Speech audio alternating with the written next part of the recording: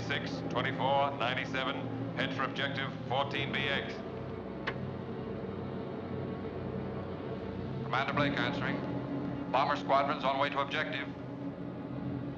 And their objective is to crowd the screen with all the thrills of their greatest triumphs.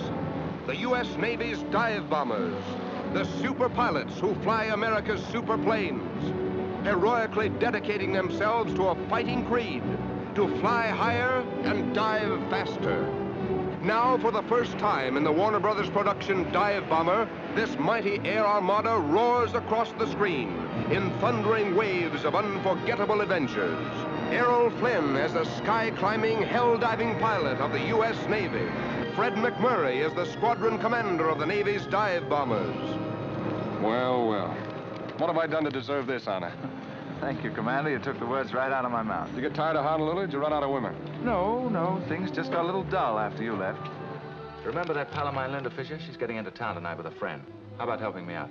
Uh, no, Soap. I, I got a lot of work to do. Uh, what's a friend look like? Alexis Smith as a blonde bomber, and she's ready for action. Lee, it's sure tough there aren't any women on the selection board. You'd be an admiral inside of a year. I understand I'm to do a little flying for you gentlemen. You gonna be the pilot? You can't feel any worse about it than I do, Lieutenant.